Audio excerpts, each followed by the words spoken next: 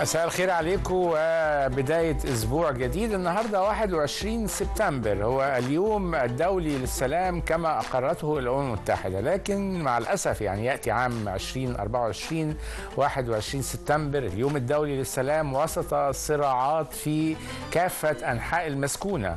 آه بنشوف في لبنان بيحصل إيه بنشوف في غزة بيحصل إيه بنشوف ما بين أوكرانيا وروسيا بنشوف حتى في أمريكا اللاتينية بنشوف حروب أهلية في أفريقيا عندنا في السودان يعني المسألة الحقيقة يعني بيأتي اليوم الدولي للسلام بدلا من أن نحتفل بوجود سلام ومحبة بين الدول والأفراد. لا صراعات قوية جدا. لكن الشيء بالشيء يذكر أيضا أن مصر ساهمت كثيرا في اليوم الدولي للسلام وساهمت في السلام في المنطقة وفي على مستوى العالم. وده يعني بالوثائق مذكور داخل الأمم المتحدة. المتحدة. الفقرة الثانية زميلتي شيرين الشايب. الحقيقة تستضيف معاون وزير الشباب والرياضة للحديث عن المشروع القومي بداية جديدة لبناء الإنسان.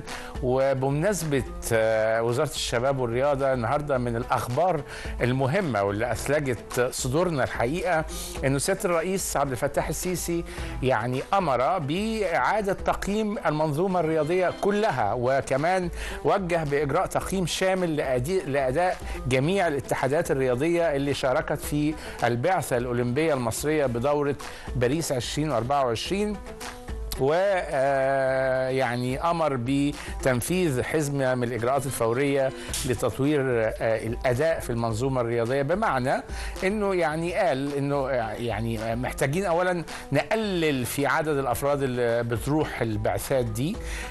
نمرة اثنين الرياضات اللي مش متميزة فيها مصر ليه بتشارك؟ ما نأهل الأول الولاد ونكثف على الرياضات اللي إحنا بنتميز فيها وخيرا فعل الحقيقة لأنه يعني في ملاحظات كثيرة على الاتحادات الرياضية في مصر وكمان صرح المتحدث الرسمي باسم رئاسة الجمهورية بأن الإجراءات اللي قررها الرئيس عبد الفتاح السيسي تتضمن إجراء مراجعة قانونية دقيقة لأوجه صرف المبالغ المالية المخصصة للاتحادات الرياضية التي شاركت في جميع المسابقات بالأولمبياد. وأزعم أنه هيبقى في محاسبة كمان لمن أساءوا إلى سمعة مصر في بعض البعثات دي. يعني في فرق وفي اتحادات أساءت لمصر هناك فلا بد أن يكون هناك محاسبة. وأعتقد أنه ده جه في السياق أيضا توجيهات سيادة الرئيس. إحنا مش طالعين رحلة يعني إحنا طالعين نمثل مصر وطالعين يعني آه نجيب ميداليات لمصر ونساهم بشكل أو بآخر في الرياضة العالمية. خليني أقول معاكم شوية منشطات ونقف عند أخبار بعينها لأنه عندنا خبر كمان إنه قريتين في أسوان أصيبوا يعني الأسر فيها بنزلات معوية. ما مش معقولة يعني كل الأسر أكلت أكلة واحدة وكان في قيء وإسهال ونزلات معوية. أربع مستشفيات اتملت والبيوت كمان فيها مشاكل صحية. وعندنا بيان من وزارة الصحة وهناخد ناخد مداخلة تليفونية لكن ده من الأخبار المهمة. المنشطات رئيس الوزراء يتفقد اليوم أربع مصانع أدوية أربعة مصانع أدوية بمدينة 6 أكتوبر. وزير الخارجية يتوجه لنيويورك للمشاركة في أعمال الجمعية العامة للأمم المتحدة. وزير الخارجية يؤكد دعم مصر للصومال لبناء القدرات الأمنية والعسكرية. انطلاق العام الدراسي في عدد من المحافظات وحضور كامل للطلاب. كل سنة وأنتم طيبين. وزارة التعليم تحذر من استخدام العقاب البدني والنفسي للطلاب مع بدء الدراسة.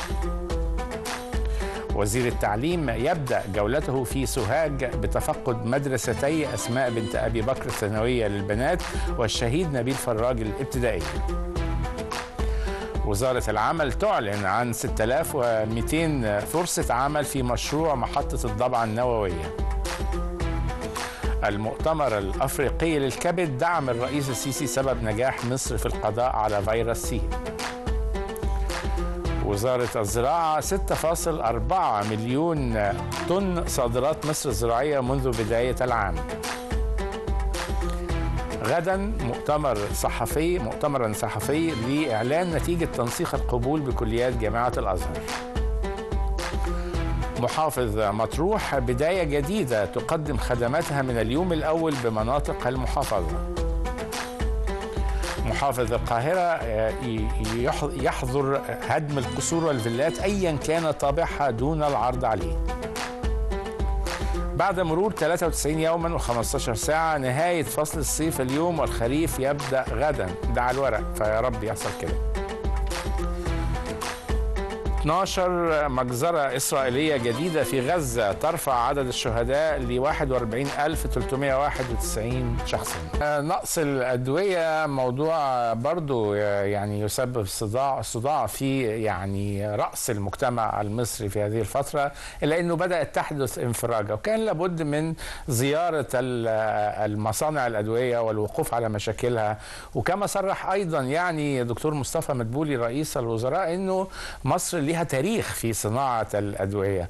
رئيس الوزراء تفقد اليوم أربعة مصانع أدوية بمدينة 6 أكتوبر والجولة كانت الحقيقة آه، بيصطحب معاه الدكتور خالد عبد الغفار آه، وزير الصحة وهو أيضا نائب آه، رئيس مجلس الوزراء للتنمية البشرية. أخذ أيضا الفريق كامل الوزير وزير الصناعة ونائب رئيس مجلس الوزراء أيضا للتنمية الصناعية. كان معاه وزير الإسكان كان معاه محافظ الجيزة كان معاه آه، أيضا آه، رئيس هيئة المصرية للشراء الموحد والإمداد والتموين الطبي وإدارة التكنولوجيا الطبية وأيضا رئيس هيئة الدواء المصرية يعني كل المعنيين بصناعة الأدوية في مصر. وقف على فكرة النواقص إزاي إن إحنا ننتج ونسد النواقص اللي موجودة وازاي نخفض الفاتورة الاستيرادية لهذه المنتجات بشكل آه، كبير معي على الهاتف الكاتب الصحفي حسن أبو خزيم مسؤول ملف رئاسة الوزراء بروزا اليوسف برحب بيك يا أستاذ حسن أستاذ عاطف مساء الخير على حضرتك وعلى السادة المشاهدين. الهدف من الزيارة في منشط آه، وبعدين نخش على التفاصيل. في الهدف من الزيارة هو الوقوف طبعا على كل الاحتياجات وما ذلك الوقوف على كافة يعني آه، نواقص الأدوية. كنا مع رئيس مجلس الوزراء في هذه الزيارة زي ما حضرتك تفضلت لتفقد طبعا أربع مصانع. الهدف هو يعني كل الدعم لهذه المصانع وغيرها طبعا من مصانع الأدوية. وزي ما حضرتك تفضلت الدولة المصرية رائدة طبعا في مجال الأدوية وصناعة الادويه ولذلك بيتم الحديث خلال هذه الفترة. فترة عن توطين صناعة الأدوية بالإضافة طبعا توطين صناعة المواد الخام هو ده يعني لب الموضوع. نعم. لحين توطين آه، يعني صناعة المواد الخام. النهارده واحد من أهم المشاكل إنه السبب نقص الأدوية إنه الاحتياطي اللي موجود عند كل الشركات اللي قعد فترة كبيرة جدا خلص وهم ما أنتجوش جديد علشان سعر الدولار والمواد الخام. أعتقد إن دي كانت واحدة من المشاكل اللي اتعرضت أمام رئيس الوزراء. كان إيه الرد؟ نعم يعني كانت واحدة من المشاكل هو عملية المواد الخام ولكن استطاعت طبعا بعد توفير طبعا الدولار والعملة الصعبة لشركات ومصانع الأدوية أن هم يقوموا طبعا بتوفير مثل هذه المواد الخام من الاستيراد من الخارج. يمكن يعني خلينا برضه ندي فكرة للسادة المشاهدين كان لدينا حوالي 580 دواء ناقص خلال الفترة الماضية استطاعت الدولة المصرية بتوفر 470 ويتبقى 110 دواء ناقص زي ما قال رئيس مجلس الوزراء في المؤتمر الصحفي الذي عقدوا معنا في نهاية الجولة. خلال الفترة المقبلة سيتم توفير كل الأدوية النواقص وما ذلك ولذلك بتأتي مثل هذه يعني أو أهمية هذه الزيارة. وحديث طبعا يعني مع المصنعين والمصنعين بالنسبة لصناعة الدواء. أنت لا تقوم طبعا بتوفير الدواء للاستهلاك المحلي فقط ولكن عينك على التصدير, التصدير. يمكن العام الماضي آه، تم تصدير ما يقرب من 1 مليار دولار من الأدوية ولكن إن شاء الله زي ما قال رئيس مجلس الوزراء في عام أو قبل عام 2030 هتصدر بحوالي 3 مليار دولار. طبعا ده شيء مهم جدا وبالإضافة طبعا عملية جذب الاستثمارات الأجنبية لصناعة هذه الأدوية والمواد الخام زي ما كنا بنتحدث يعني منذ لحظات أستاذ عاطف ده مهم جدا وهناك عدد كبير طبعا من المستثمرين طبعا بيقوموا يقوموا بإنشاء مثل هذه المصانع حتى بالنسبة للشركة القابضة للأدوية. كانت هناك مشاكل في هذا الأمر يعني بالنسبة لخطوط الإنتاج. يمكن يتبقى خط إنتاج واحد فقط اللي هو يعني ما شغالش فيه الشركة القابضة للأدوية.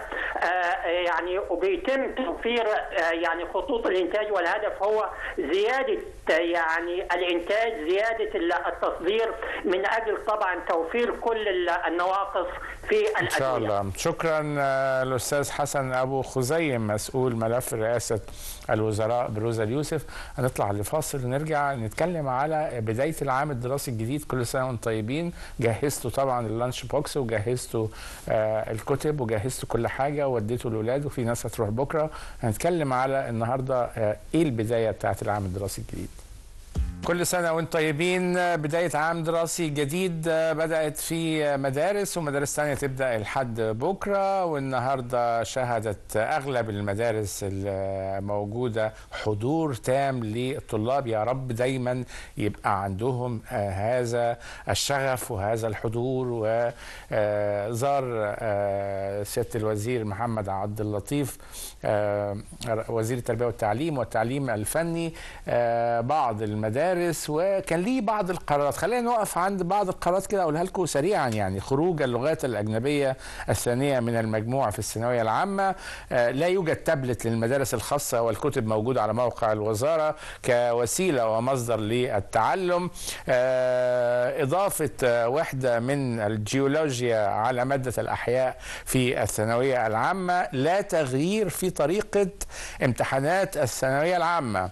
البابل شيت يعني مستمر. اللي هو اللي يبقى فيه دايرة وتعلم على الإجابة المظبوطة. اليه آلية محكمة للسيطرة على محاولات الغش بامتحانات الثانوية العامة في 2025 والمعلم الذي يرغب في زيادة مرتبه يحصل على حصص زيادة مقابل 50 جنيه للحصة.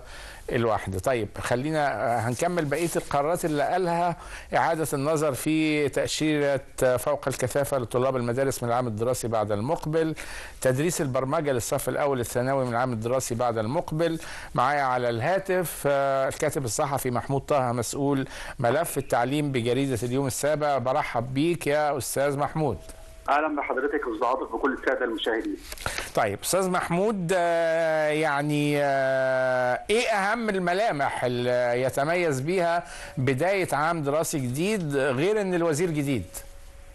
في الحقيقة طبعا العام الدراسي ال 24 25 عام دراسي مختلف في مجموعة من القرارات اهمها طبعا قرارات خاص بخفض الكثافه الطلابية للفصول الدراسية. زي ما كنا عارفين المدارس في بعض المدارس كانت بتعاني من كثافات مرتفعة وده طبعا كان بيأثر على نسبة التحصيل الدراسي لدى الطلاب وأيضا بيأثر على المجهود اللي بيبذل من قبل المعلمين داخل المدارس.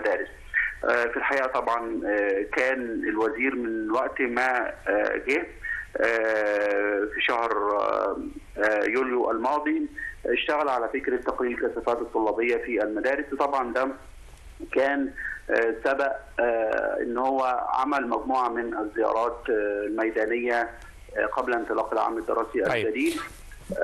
ويوجه بخفض الكثافة الطلابية لأقل من 50 طالب في الفصل. الوزير أعلن بشكل رسمي إنه في حوالي 90% من المدارس تبقى فيها الكثافة الطلابية أقل من 50 طالبا في الفصل.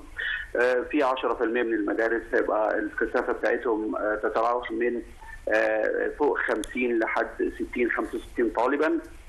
طبعا كمان الوزير أعلن إنه عشان يعني نقلل الكثافات بشكل كامل محتاجين حوالي 250 ألف فصل دراسي جديد يتم بنائهم هل هيعمل بالفترات المسائية في بعض المدارس؟ طبعا مع من ضمن الحلول يا فندم اللي تم طرحها ومناقشتها من قبل هي الفترة المسائية من قبل المديريات الوزارات التعليمية ومناقشتها من قبل الوزارة. هو فكرة العمل بنظام الفترتين طيب بلغة البنج بونج علشان يعني الوقت قليل جدا يعني فكرة إن في تحذير من العقاب البدني والنفسي للطلاب في المرحلة الابتدائية والإعدادية والثانوية طبعا.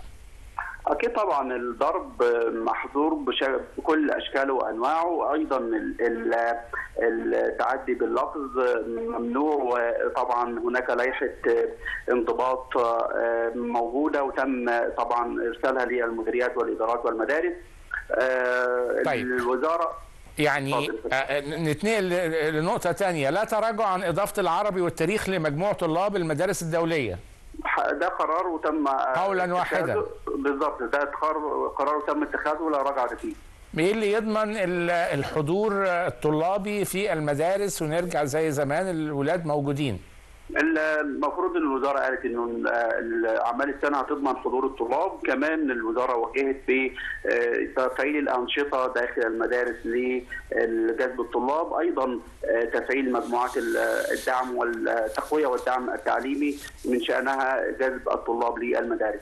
أشكرك آه، الأستاذ محمود طه مسؤول ملف التعليم بجريدة اليوم السابع. هنطلع لفاصل ونشوف حكاية القرى اللي في أسوان دي. إيه اللي حصل هناك؟